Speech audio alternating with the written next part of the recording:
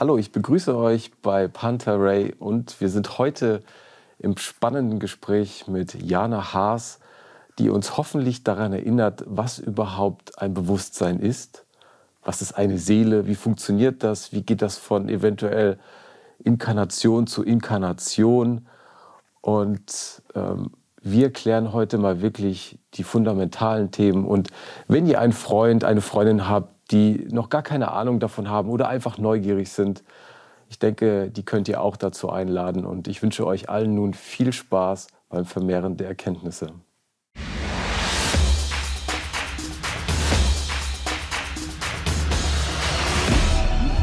Hallo Jana, herzlich willkommen bei Panther Ray. Hi, schön hier zu sein, Dankeschön. Ja, ich, ähm, ich freue mich sehr darüber, viele verschiedene Themen äh, bereden zu dürfen. Und äh, heute im ersten Teil geht es ja wirklich darum, auch mal Menschen abzuholen über Themen, mit denen sie vielleicht noch nicht so Berührung hatten, worüber vielleicht der Partner schon Berührung hat, aber man selber noch nicht so genau weiß, um was es geht. Und ähm, ich habe dich ja gebeten, dass wir einfach mal sozusagen eine Einführung in, in die Themen machen, die dich besonders berühren, in denen du Expertin bist, ob du willst oder nicht, weil du ja schon äh, von frühem Kindesalter an äh, diese ausgeprägte Hellsichtigkeit hast und dass du ähm, uns einfach mal erklärst, was das bedeutet, äh, welche Themen da auf einen zukommen. Und äh, ja, da bin ich gespannt, ähm, was, was du uns zu erzählen hast. Mittlerweile bin ich ja schon seit circa 20 Jahren im spirituellen Beruf tätig. Und genau das hätte ich mir nie erträumt, denn ich komme aus einem eher atheistischen zu Hause auch im kommunistischen System der ehemaligen UdSSR groß geworden und rein materielle Werte mitbekommen.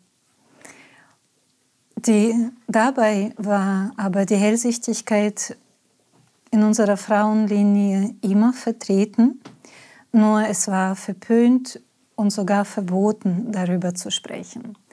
Und damit bin ich grundsätzlich mit einem Gedankengut groß geworden, dass alles, was sanftmütig ist, liebevoll, werteorientiert, spirituell, alles, was mit einem Bewusstsein hin zum Glauben zu tun hat, nicht gut ist. Es sind sogar solche Aussagen gefallen, sprich nicht darüber, sonst kommst du in die Psychiatrie. Mhm. Und damit war alles Lichtvolle, was wir im spirituellen Bereich lichtvoll nennen, für mich mit einem Tabu belegt. Meine Fähigkeiten ließen sich aber durch diesen äh, bewertenden Gedanken nicht einfach so abschalten. Und so war ich natürlich in der Kindheit mit spirituellen Gaben alleingelassen und damit überfordert.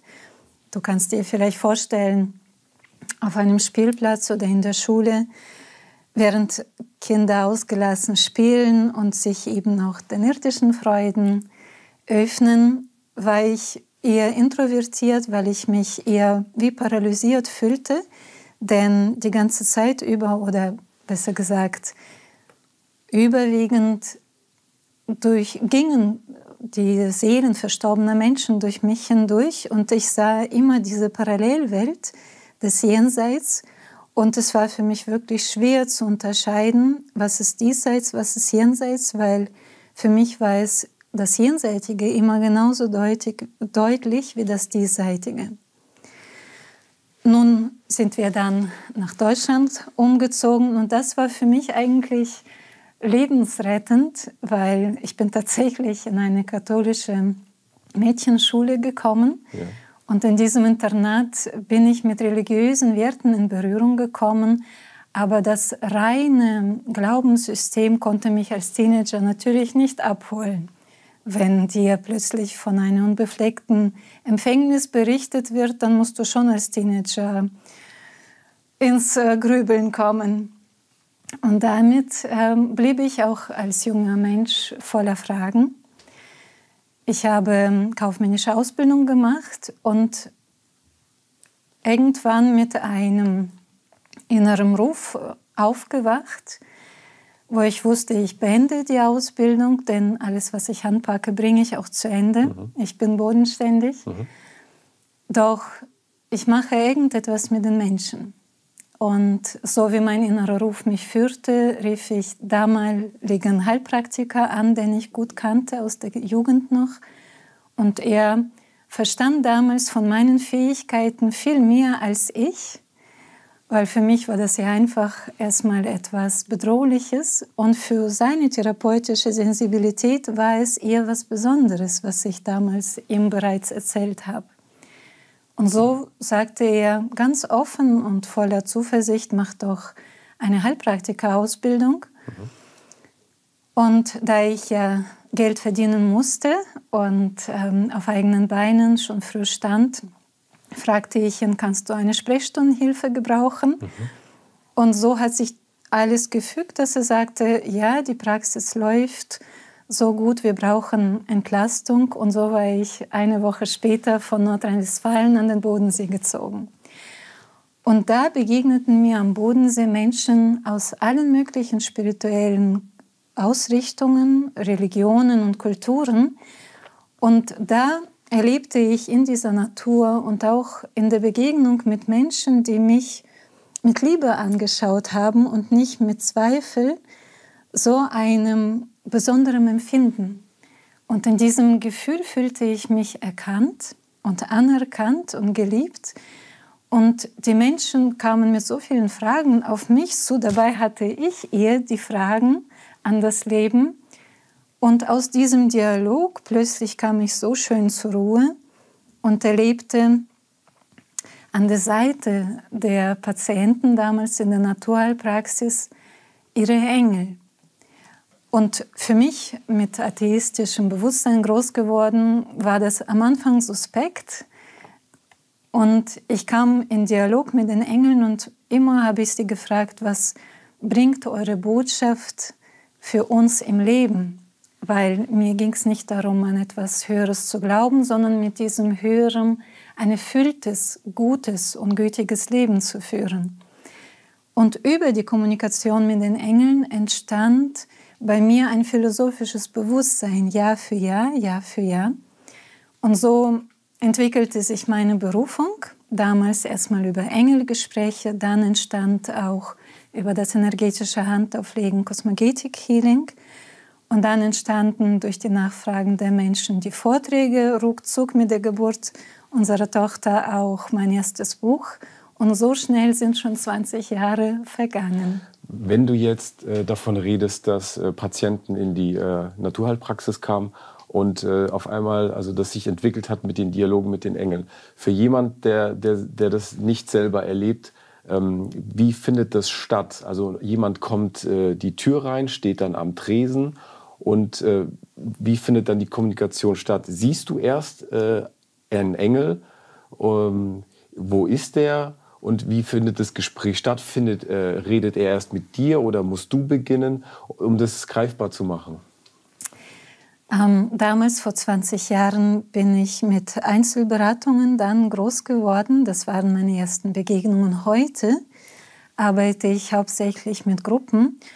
Und wenn ich Engelbotschaften in Gruppen gebe, die Menschen melden sich an, es ist etwa eine Gruppe von 40 Personen. Und ähm, Sie sind für die Engelbotschaften offen. Ich nenne seinen Namen, den Namen der Person, die gekommen ist, dass dieser Mensch weiß, er ist jetzt gemeint. Mhm. Dann schaue ich mit meinem ruhigen, hellsichtigen Blick seine Aura an, sehe in seinem Energiefeld seinen Schutzengel beziehungsweise auch eventuell weitere Engel und beschreibe die Farben und die Gestik der Engel, weil sie ja nicht stofflich sind und damit keine phonetische Sprache haben. Mhm.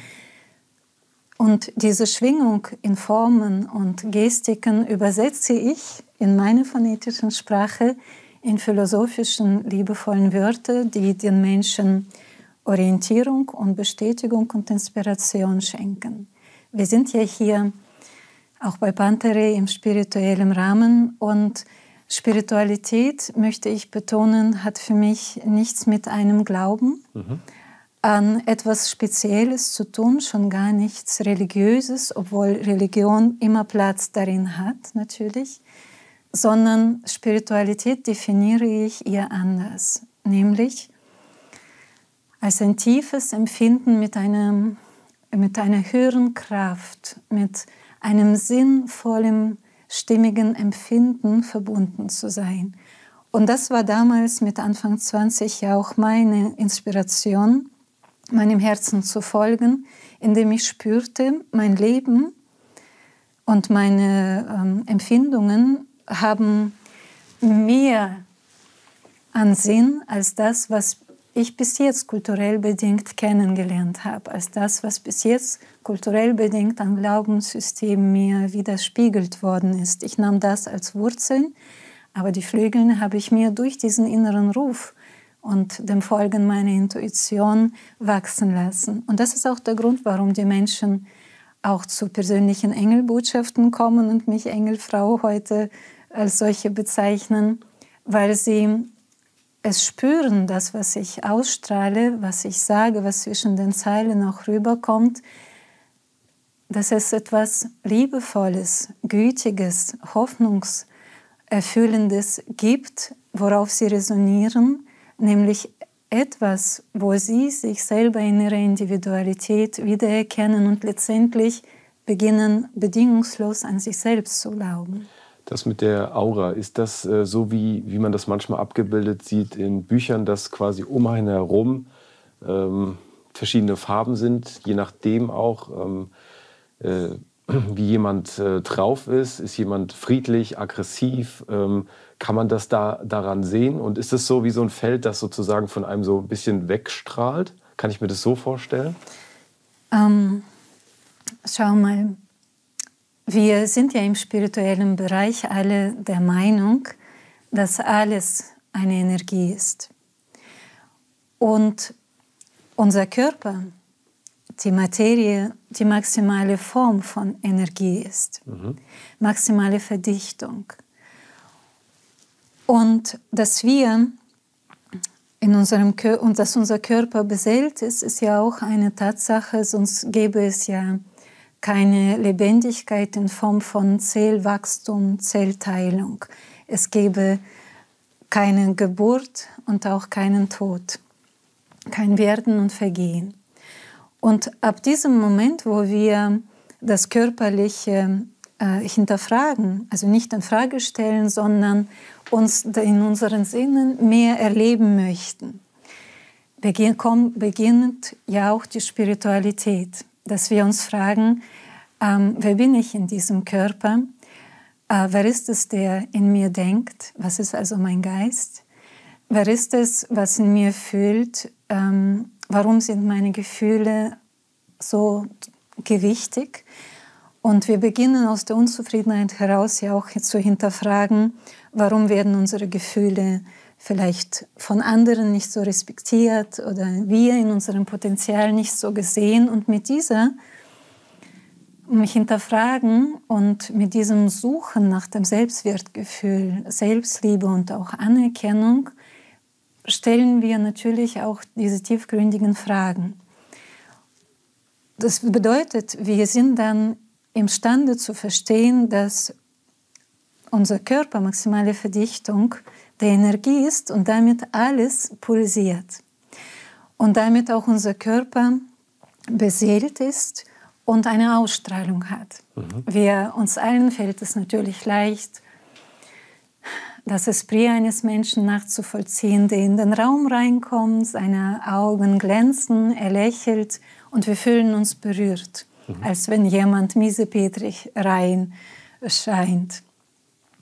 Doch mit meinem hellsichtigen, ruhigen Blick bleibt, äh, erlebe ich einen Zustand, wo Zeit und Raum wie sich auflösen und um den Körper herum diese Ausstrahlung, die Aura sich zeigt, die ein Ausdruck von Emotionen der Person ist und auch von seiner Gedankenqualität und auch von seinem Potenzial. Ich ähm, gehe deshalb nicht auf so äh, kindliche Vorstellungen von einer Aura ein, weil sie zu mechanisch sind. Mhm. Letztendlich mhm. wissen wir doch heute auch in der Quantenphysik, da alles Energie ist und unser Körper nur maximale Verdichtung der Energie ist, kann unsere Aura nicht auf eine bestimmte Größe eingeschränkt sein, sondern ist unser Energiefeld göttlich und damit weltumspannend. In der Quantenphysik wissen wir ja, dass die Zwillingsteilchen zum Beispiel, meine Tochter, die jetzt über 600 Kilometer von mir hier entfernt ist, auch hier im Raum sind. Und auch ich als Mutter sie auch spüren kann und wissen, wie es ihr geht und äh, wie Telepathie auch auf diese Weise funktioniert. Und damit sollten wir uns wirklich die Aura auch als ein unendliches Licht des Lebens vorstellen und uns nicht in unserem dual, du, dualen Bewusstsein einschränken. Die Aura ist auch nicht so grob, wie wir uns das in den Bildern vorstellen, mhm. sondern sie ist viel durchscheinender, zarter, wie ein Wolkengebilde sogar. Und der Ausdruck der Farben, der sich darin widerspiegelt, ist eben auch die Botschaft der Emotionen und auch des Charakters, der in dieser Persönlichkeit innewohnt. Kannst du dieses Sehen ähm, an- und ausschalten oder ist das immer da? Ähm, ich habe mir lange gewünscht, das ähm, ausschalten zu können, ja. aber dann wäre sicher es falsch. Mhm. Heute in meiner Demut kann ich ähm, äh, verstehen, man, manchmal, dass manchmal im Leben etwas nicht bekommen zu können, ein, im Nachhinein ein größerer Gewinn sein kann, als wenn alles im Leben nur nach seinen Vorstellungen, Wünschen und Plänen verläuft. Ich, ähm, ich habe es gelernt, um mich in dieser physischen Welt verankern zu können, die Hellsichtigkeit wie einen Dimmer zu benutzen. Wenn wir jetzt gemeinsam hier sitzen und uns unterhalten, ist meine Hellsichtigkeit so ganz runtergedimmt und trotzdem zum gewissen Teil an, aber unwillentlich. Mhm. Und wenn ich jetzt ähm, dir helfen sollte, wie deinen Schutzengel beschreiben, immer nach dem Erlaubnis des anderen natürlich. Oder die Seele eines verstorbenen Menschen im Jenseits. Oder wenn ich in der Natur mit den Menschen meditiere und die beseelte Welt der Natur beschreiben soll, die Naturwesen, dann atme ich tief durch, gehe noch mal Tick mehr in die innere Ruhe und automatisch stelle ich sozusagen diesen Schalter ganz hoch, egal wie viele Stunden ich das brauche und bewege mich in diesen Welten. Aber danach sehe ich auch wieder zu, dass ich mich wieder schön erde, denn Genie und Wahns liegen ja bekannterweise nah beieinander. Mhm. Ich hatte ja schon angekündigt, dass ich dir äh, auch ganz einfache Verständnisfragen stellen werde, damit auch diejenigen ähm, sich äh, abgeholt fühlen, die noch nicht so viel über die Thematik kennen.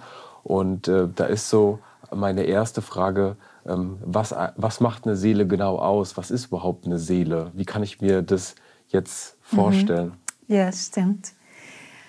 Ähm, die meisten wissen, dass auch in den früheren Jahrhunderten die Philosophen mit dieser Frage ja ihr Leben lang ringten und die Seele als einen göttlichen Hauch mhm. beschrieben haben und diesen Hauch ähm, gut beobachten konnten oder sich vorstellen bei der Geburt eines Babys, welcher zum ersten Mal seinen Schrei ausstößt, wie auch bei einer Sterbebegleitung, wenn der Mensch seinen letzten Atemzug vollzieht.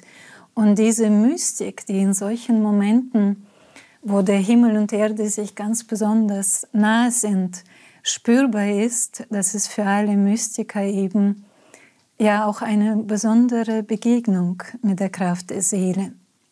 Nun, wir in unserer modernen Zeit brauchen nicht so lange auf solche Momente zu warten, sondern wir können in der heutigen Zeit, wo uns viel mehr philosophisches und viel mehr psychologisches Wissen einfach zur Verfügung steht und auch eine unglaubliche geistige und religiöse Freiheit äh, diesen Begriff Seele selbst definieren. Und ich versuche die Seele auf eine möglichst einfache Weise zu definieren, als die Seele ist die Summe all deiner Emotionen. Und vielleicht ähm, hilft ein Beispiel dabei. Nun, ähm, oder zwei. Nun, jetzt sitzen wir da und unterhalten uns und wir sind natürlich jetzt mehr im Mind, in mhm. der Intellektualität. Und das ist auch wichtig, denn wir müssen ja äh, unser Interviewthema erfassen können und roten Faden bewahren. Für die Zuschauer, dass äh, da einigermaßen Ordnung ist. Aber wenn du dann, ähm, die Emotionen sind jetzt erst einmal zweirangig. Aber wenn du mit deiner Partnerin oder Partner heute Abend zu Hause im Arm liegst, erlebst du ja ganz andere Empfindungen und du bist deiner Seele näher. Und wenn eines Tages deine Augen, unsere Augen für immer zugehen in dieser Lebensreise, bleibt vor allen Dingen genau dieser emotionale Aspekt, den deine Partnerin oder Partner spüren werden, so wie wir fühlen, wenn ein geliebter Mensch gestorben ist, seine Physis ist zwar nicht da, aber wir fühlen uns trotzdem nicht nur durch die Erinnerung verbunden, sondern viele Menschen beschreiben sie, spüren, sie haben den Eindruck, die, seine Seele sitzt noch auf dem Bett oder auf seinem Lieblingssessel.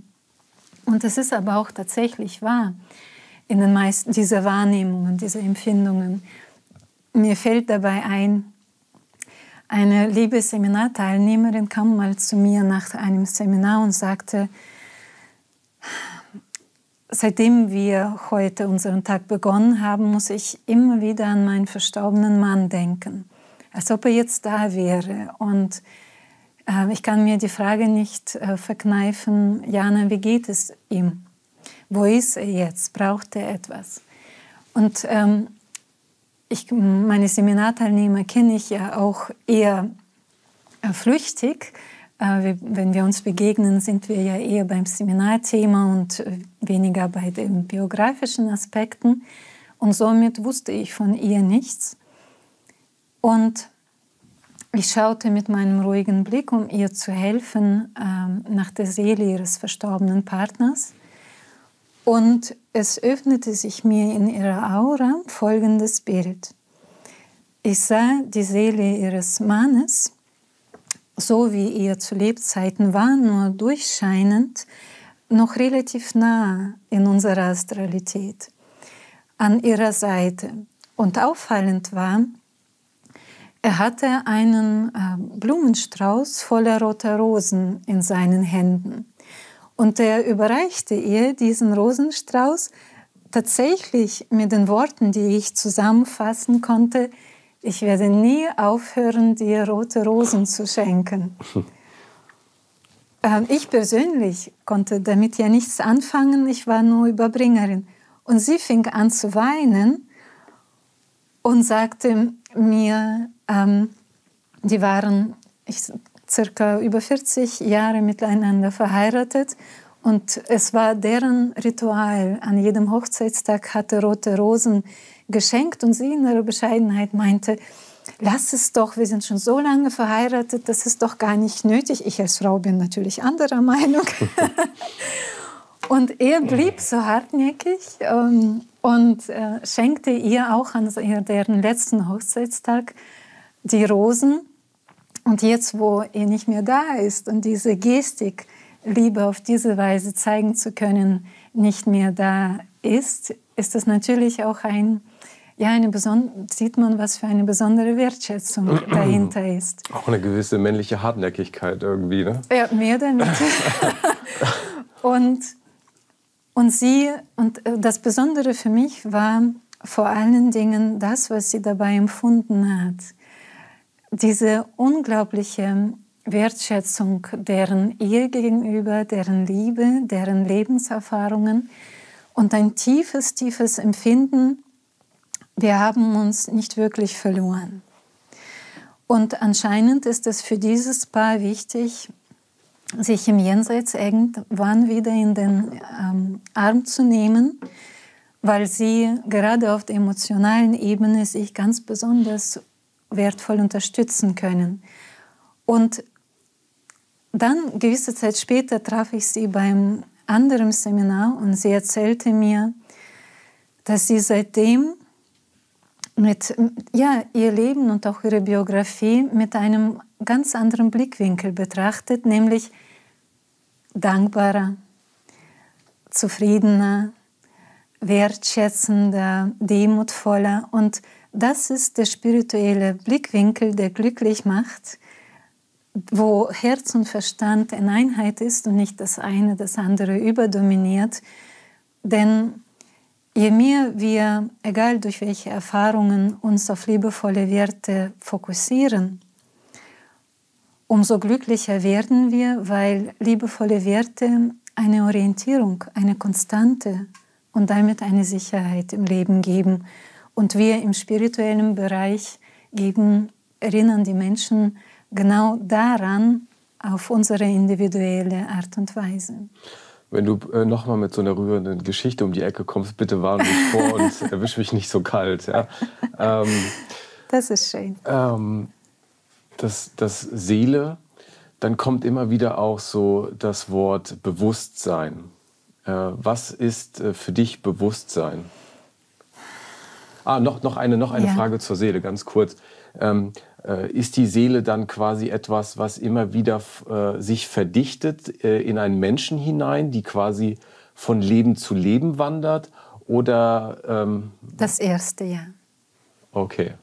Ja, wir die, sind stets ein Ganzes in unserer göttlichen Seele. Konzentrierte Emotionen das ist die Seele, die wieder quasi von äh, Verdichtung zu Verdichtung wandert. In ihrem individuellen Bewusstsein, ja. Und das Bewusstsein ist was genau? Ja. Das Thema Bewusstsein ist ja um, unglaublich modern gerade. Mhm. Und äh, Halleluja, Gott sei Dank, keine Frage. Denn ähm, eigentlich ich bin jetzt seit fast 20 Jahren im spirituellen Berufsbereich tätig und eigentlich seit 20 Jahren äh, sprechen wir darüber, dass erwachendes Bewusstsein die Welt verändert. Mhm. Und ähm, meine Erfahrung und ähm, Beobachtung ist, dass das erwachende Bewusstsein nicht ähm, im alten Sinne stattfinden kann.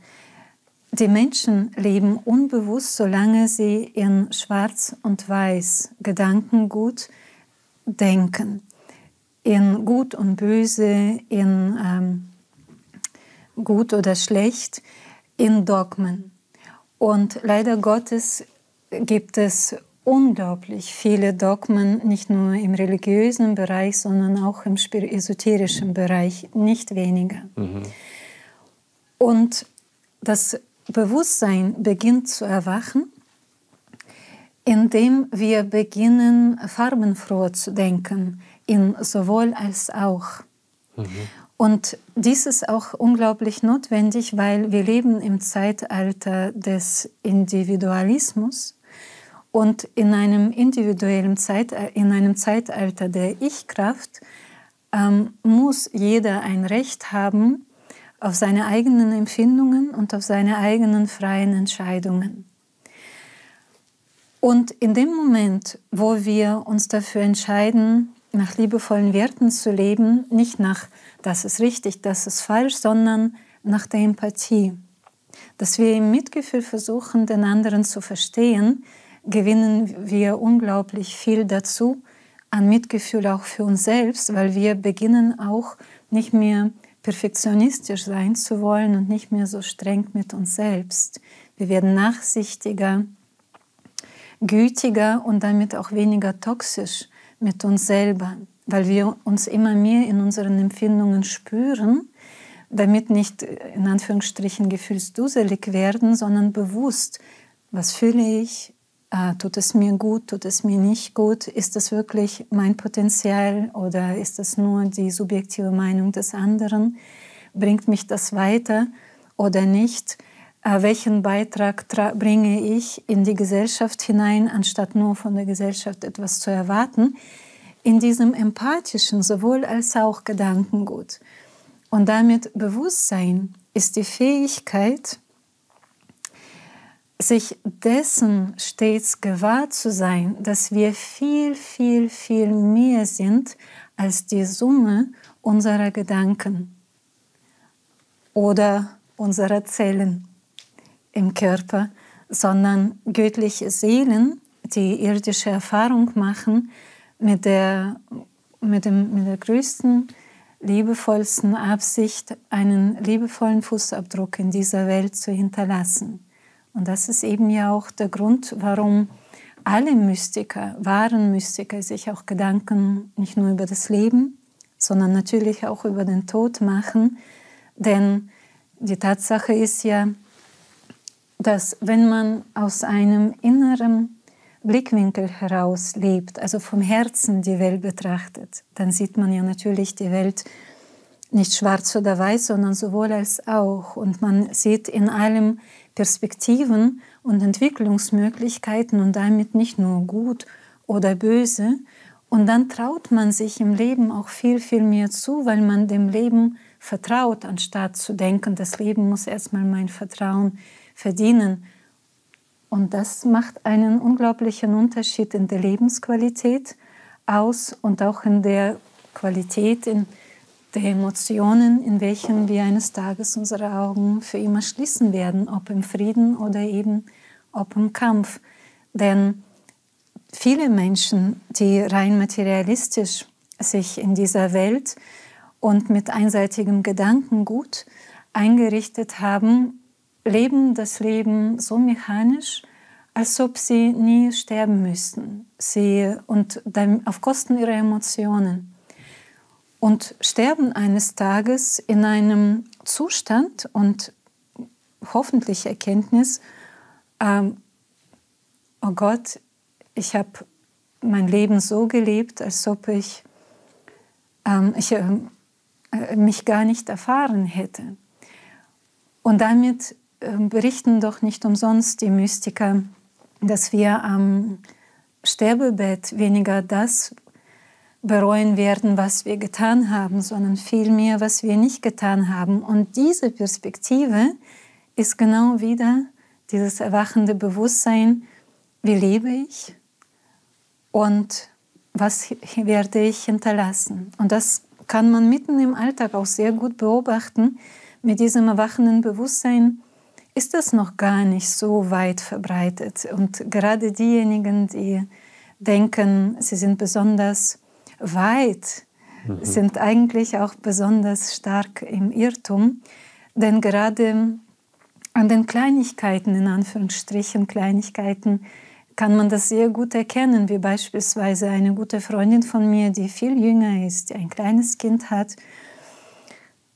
Ähm, das Kind ähm, hat auf gewisse Überforderung mit äh, großem Fieber reagiert und ich als äh, Freundin habe sie darauf hingewiesen, dass das wohl eher mit dem und dem zusammenhängen könnte. Und dann sagte sie, nö, mein Kind muss da durch, denn er muss für diese harte Welt abgehärtet werden. Und das ist ein Mensch, der eine Generation nach mir kam, also jünger ist, wo man denken müsste, sie sind noch weicher inneren Wesenskern als wir, die mit Härte erzogen worden sind, mit mehr Härte erzogen worden sind. Und ich habe lange ähm, darüber nachgedacht, wie sie das sagen könnte, wo sie doch äh, Vorbilder hat, wie mich, darf ich unbescheidenerweise sagen, wo sie doch sieht, auch an der Entwicklung meiner Tochter, wenn man empathisch seinem Kind begegnet, was für eine starke Persönlichkeit daraus wird, anstatt unter Druck groß zu werden. Und da ist mir bewusst geworden, dass eben bewu bestimmtes Bewusstsein der Güte und Empathie, der Liebe einfach fehlt. Ich bin der Meinung, und das finde ich eher spirituell, wir sollten unsere Kinder so erziehen, dass sie diese Welt weniger hart machen, indem sie die Werte von uns vorgelebt bekommen haben, als wertvoll sich erlebt haben und diese Werte, die sie schon mit der Muttermilch aufgenommen haben, auch in ihre Familien und auch in, ihr Geschäfts-, in ihre Geschäftswelt hinaustragen.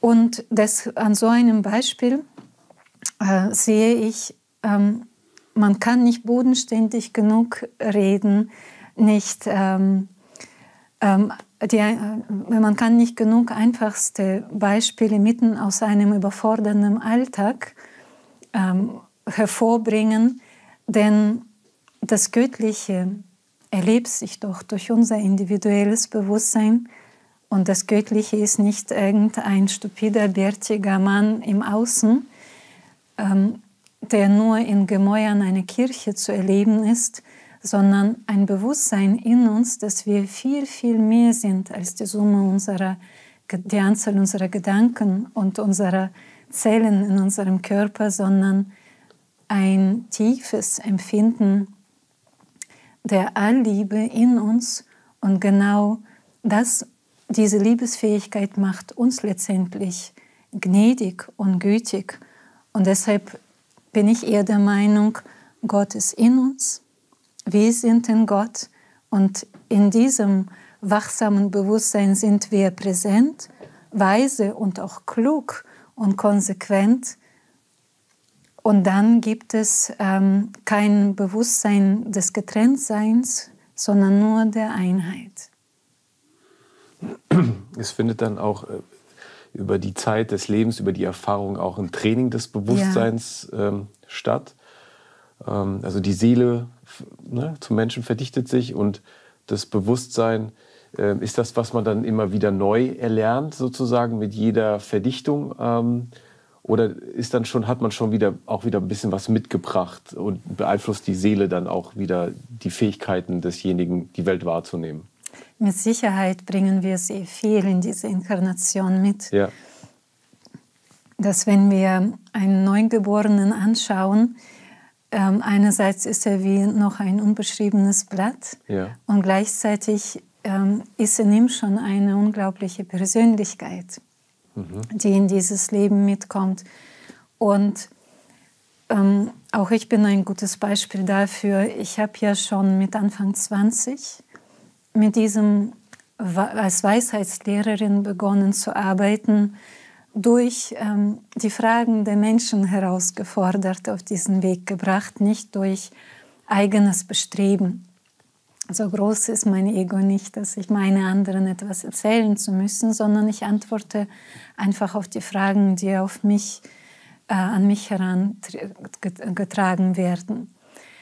Und als ich, ich erinnere mich noch ziemlich genau an meinen allerersten Vortrag, ähm, da war ich circa, oh Gott, 24, 25 und es waren über 200 Zuschauer da und ähm, meine Lieben um mich herum waren ganz schön aufgeregt, ähm, dass ich jetzt vor so einem großen Publikum über die tiefgründlichsten Fragen des Lebens äh, sprechen soll. Und ich war die Ruhe in Person. Und ich wusste gar nicht, warum sind die alle aufgeregt. Es ist, es ist doch nur ein Gespräch in Anführungsstrichen. Mhm. Es war für mich, es fühlte sich für mich als das Normalste von der Welt an dabei. Wie ich vorhin schon erwähnt habe, war ich das introvertierste Kind wahrscheinlich aller Zeiten. Und ähm, auch bei, während dieses Vortrags in meiner geistigen Anbindung hatte ich auch absolute Ruhe und Zuversicht und äh, Gelassenheit. Und die Fragen, die auch danach kamen, auch waren sehr, sehr herausfordernd und knackig und provokativ. Aber ich war stets in diesem Bewusstseinsfeld der Liebe, als ob für mich nichts anderes in Frage käme. Und diese, diesen Zugang und auch dieses innere Wissen, was ich jetzt einfach nur in dieser Inkarnation, in dieser Verdichtung, äh, mein, in, in, diesem heutigen Bewusstsein, in der modernen Sprache kundtue, habe ich sicher in vielen Inkarnationen davor trainiert. Mhm. Und damit ähm, ganz sicher nehmen wir unsere Talente, nicht mhm. nur unsere Ängste aus früheren Leben, aus früheren Erfahrungen als emotionale Erinnerungen mit. Mhm. Und in der Epigenetik wissen wir ja auch heute, dass tatsächlich Gefühle und Erlebnisse ja auch vererbt werden, aber nicht nur die unserer Vor-, unserer Ahnen, sondern auch unserer ganz eigenen ebenfalls. Mhm. Dann gibt es noch äh, diesen Punkt von ähm, Verstand zum Beispiel oder Körper, Geist, Seele.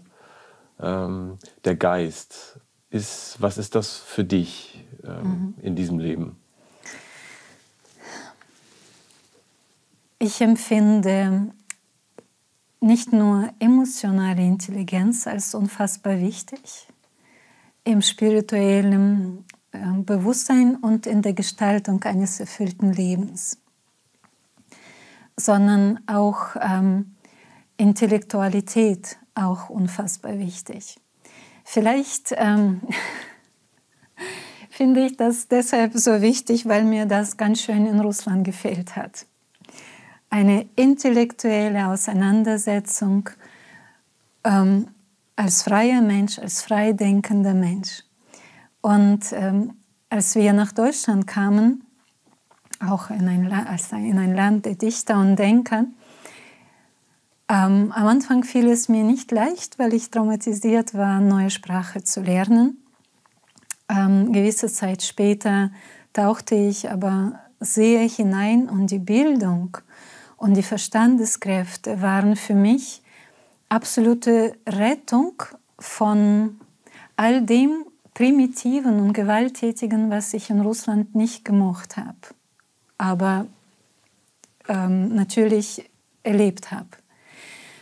Und dieses, ähm, diese Intelligenz, die Dinge aus mehreren Perspektiven betrachten zu können, ist auch für unsere geistige Freiheit, für, unsere Spiritu für unser spirituelles Bewusstsein, für das emotionale Denk äh, Intelligenz, für dieses Perspektivenwechsel und Bewusstseinsveränderung so unfassbar wichtig, dass wir in sowohl als auch Perspektiven denken und nicht nur in richtig oder falsch, in Freund oder Feind, sondern wir können Freunde sein und trotzdem unterschiedlicher Meinungen haben oder mhm. unterschiedliche Vorlieben haben, das hat doch nichts mit unserer persönlichen Verbindung zu tun. Das heißt, das ist aber nur möglich, wenn man Respekt für die Individualität des anderen hat und für seine Bedürfnisse. Und genau, ähm, ich bin auch, ich liebe deutsche Sprache unfassbar, weil in Russland konnte ich diese von der Hellsichtigkeit profitieren, von dieser unglaublich emotionalen Weite, die schon ähm, überbrodelnd ist dort. Und in Deutschland von dieser intellektuellen Klarheit. Und die Fähigkeit, auch ähm, diese unendlichen spirituellen Welten in Wörter fassen zu äh, können und damit auch Bücher schreiben zu können. Immerhin erscheint jetzt mein 16. spirituelles Buch, wie es mit der Seele hinterm Horizont weitergeht, ähm, ist so wichtig und ich muss sagen, ich wünsche sie mir im spirituellen Bereich noch mehr, weil auch im spirituellen Bereich tendieren die Menschen sehr stark ähm, in die alternativen Fakten zu vertrauen, in, an, auf einfache Antworten sich zu verlassen, anstatt Perspektive mal zu wechseln und auch sowohl als auch zuzulassen und die Ruhe zu haben, intellektuelle Ruhe, einen Gedanken auch mal zu Ende zu denken, nach seiner Nachvollziehbarkeit, Umsetzbarkeit und Vertrauenswürdigkeit zu überprüfen. Warum ich so, äh, mein Mann sagt auch, ich bin außergewöhnlich intellektuell. Nun, das ist auch ihm zu verdanken, weil es kommt kein Buch heraus, ihr meine spirituellen und hellsichtigen Aussagen nicht durch seinen wissenschaftlichen Gehirn hindurchgegangen sind und auch seiner männlichen ähm, Intellektualität standgehalten haben. Wir sind ein sehr gutes Team. Mhm.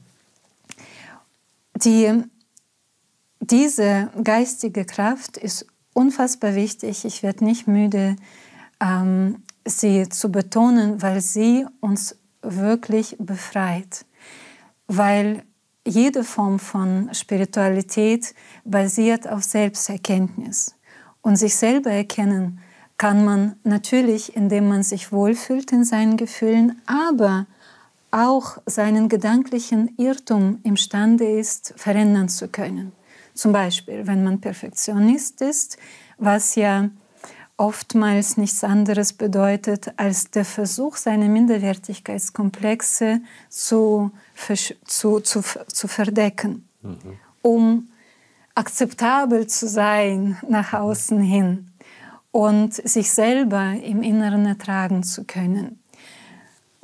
Wir werden immer in dieser perfektionistischen Grundanspannung sein und sich damit unbewusst minderwertig vorkommen, ehe wir intellektuell nicht bereit sind zu hinterfragen, wo kommt es her? Warum habe ich es nötig? Was ist meine Motivation hinter diesem harten Umgang mit mir selbst, was ja natürlich automatisch auch in der Erziehung sich mit den eigenen Kindern widerspiegelt, dass man automatisch natürlich auch so, wie man mit sich umgeht, auch mit seinen Kindern, mit seinen Mitmenschen oder mit seinen Mitarbeitern umgeht. Und ehe man nicht imstande ist, diese Schattenseiten zu hinterfragen und ähm, sie zu erlösen, indem man in die Demut geht und sich vergibt und auch anderen, kann diese innere Befreiung nicht stattfinden, sprich ich bin gut so, wie ich bin und ich vergebe mir und ich bin vollkommen aus meiner inneren Weisheit heraus. All diese Erkenntnisse, die wir zu Lebzeiten wirklich erfahren, stellen für mich eine wirkliche Bildung dar. Und das kann man nicht studieren, man kann sich nur im Leben diesem öffnen durch Dialog mit den Menschen seines Vertrauens und durch das Hinterfragen seiner unguten Charaktereigenschaften sozusagen. Denn warum ich auf diese Selbsterkenntnis so viel Wert lege, dadurch entsteht ja erst Heilung. Alles andere ist Fantasie äh, oder Symptombehandlung. Und wenn wir eines Tages diese Reise abschließen, unser Geistesleib ist ja auch unsterblich und leuchtet wie ein Stern am Himmel, eine Grundinformation unserer aller bisherigen Erfahrungen in allen Inkarnationen und damit Erkenntnisse. Und mit dieser Information inkarnieren wir wieder. Und das ist der Unterschied ähm, das macht dann auch den Unterschied in unserem Bewusstsein aus. Du kennst sicher diesen Moment, du liest ein Buch oder hörst einem Vortrag zu und du liest zwischen den Zeilen. Du ähm, weißt gleich, was sozusagen, welche Erkenntnis als nächstes kundgetan wird, weil du dieses himmlische Wissen aus deiner geistigen Kraft in dir inne hast denn du hast sie schon in früheren Leben auch erarbeitet durch deine eigene persönliche Entwicklung, emotionale wie auch intellektuelle. Und damit bist du nach wie vor verbunden mit diesem himmlischen Wissen und himmlischer Weisheit. Und das ist der Unterschied, warum für, viele, für manche Menschen die Dinge einfach offensichtlich sind. Und sie wollen nicht mehr nur wissen, sondern sie wollen das im Leben umsetzen. Der Unterschied zu dem, wo andere Menschen mit einer Aussage intellektuell überfordert sind, geschweige sie in ihren Gefühlen, in ihrer emotionalen Vielfalt zulassen zu können, geschweige das auch mit im Alltag umsetzen zu können, wie bei dem vorherigen bodenständigen Beispiel, wie die meisten wollen ihre Kinder für die harte Welt abhärten, weil allein der Gedanke, ihnen nicht bewusst ist, welchen sie gerade geäußert haben, was wirklich dahinter steckt, was ihre wirkliche Motivation dahinter ist und woher dieser Gedanke, dieser Glaubenssatz eigentlich herkommt. Und damit diese geistige, mentale Kraft ist nicht dieser rationale, einseitige Irrtum, ich muss mein Kind für die harte Welt abhärten, damit er in der Manageretage überleben kann, sondern geistige, mentale Kraft, das ist diese innere Klarheit, dieses, oh Gott, was rede ich da eigentlich? Mhm. Und was will ich eigentlich wirklich sagen? Oder nicht umsonst müssen wir im Leben erst einmal oftmals begreifen, wer wir nicht sind, was wir nicht sein wollen, um was unser Schatten sei, um auf die Idee zu kommen, wer wir wirklich sind, wer wir wirklich sein können. Und damit ist tatsächlich nicht nur Glück eine Frage der persönlichen Entscheidung und des Bewusstseins, sondern auch die Güte und die Liebe und sogar Beziehungsfähigkeit. Alles, was unser Leben ausmacht und sogar auch Erfolg, auch in finanzieller Hinsicht. Große Fragen der Perspektiven. Ich habe auch rausgehört, ähm, das Ständige sich auch selbst zu hinterfragen. Das habe ich jetzt ja auch so ein bisschen mit herausgehört. Mhm. In jeder Situation, vor allen Dingen mit der Erziehung unserer Kinder, wo wir oft ja auch gar nicht genau wissen, was, was ist jetzt richtig? Gibt es überhaupt ein richtig? Ja, ja da sagst du was. Oder wir wollen ja im Grunde genommen nur das Beste für unsere Kinder ja. und wir glauben, dass wir damit das Beste tun, gerade mit dem Abhärten, irgendwelche Abhärtungsrituale oder, ne? Und, ähm, aber das finde ich toll, dass du das nochmal so betont hast, dass wir da echt vorsichtig sein müssen, nach welchen Glaubenssätzen wir unseren Kindern äh, Dinge mitgeben und äh, quasi dann irgendwie auch ähm, ich will nicht sagen Fehler, aber dann doch wieder so ungute Dinge wiederholen. Das, das, das freut mich, dass du das gerade so herausgearbeitet hast. Ich glaube, da können auch mhm. viele Eltern, junge Eltern da was heute mitnehmen.